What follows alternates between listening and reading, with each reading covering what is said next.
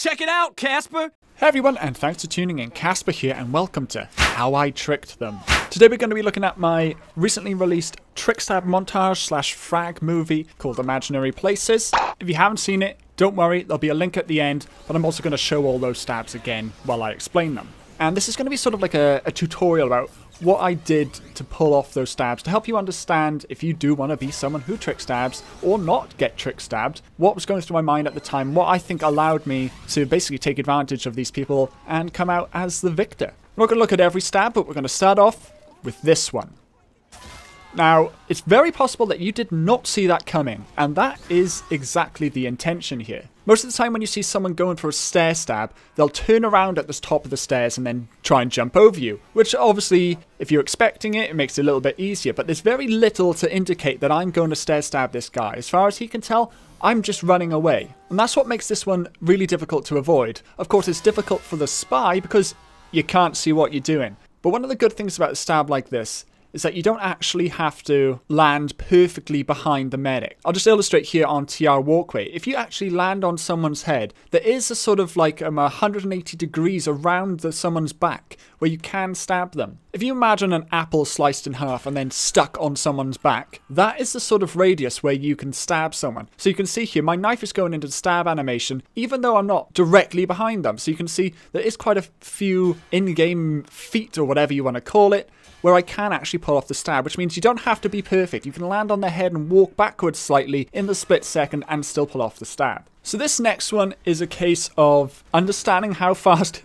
classes walk and just timing it really well. I spot this pyro in the distance. You can see he's not close enough to even try a stab. And obviously he hasn't seen me escape. So he's gonna be trying to get me. So I use this to my advantage. I know he's gonna turn 90 degrees when he gets here because he wants to get his flames on me. So I just time it really well. Again, this is just a case of playing the game enough to understand the timing of the, the movement speeds. And then all I have to do is move 90 degrees. I don't have to get behind him because he's made his back available to me by turning that 90 degrees originally. And it turns into a pretty easy stab. I laughed quite a lot when I pulled this one off, and I was a little bit surprised there wasn't any rage in the chat from the enemy spy. But I, I spot him here, and I'm trying to stab him, but I lose focus of him, and I know he's probably been hurt and he needs to recharge his cloak. And he's probably gone for an ammo kit or a health kit. And there's two little spots where he's probably gone to my left or my right. So I fake as if I've just left him alone. And I turn around just to check if he has now decided to come out of hiding. Sure enough, he has. I don't know if he was expecting a stair stab here or anything. But again, it's timing and probably the fact that I did fake running away, he really wasn't expecting me to turn around and go for this. Now, ignoring the fact that this medic should not have run up here after three of his teammates had died. The reason that this trick stab worked is probably because he literally could not see me on his screen. He had no idea that I had jumped over his head. Because if you look at the moment here where I jump, assuming that he's looking directly forward, he probably never sees me. And obviously it's completely impossible to avoid a stab if he didn't even see it. This one is an example of he probably did see me, but because it's such an unexpected angle for a trick stab to come from, it works. So he sees the spy here, and in most situations, he's got the upper hand, hasn't he? The spy is in a really awkward position. He's got a rocket launcher.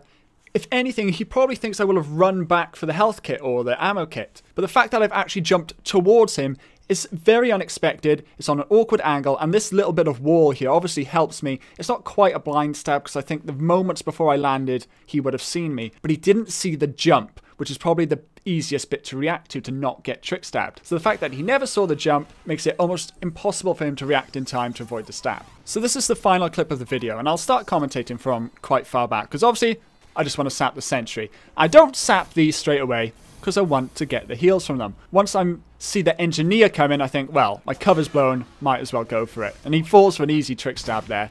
I'm not missing, as you can see, they're all piled on top of each other.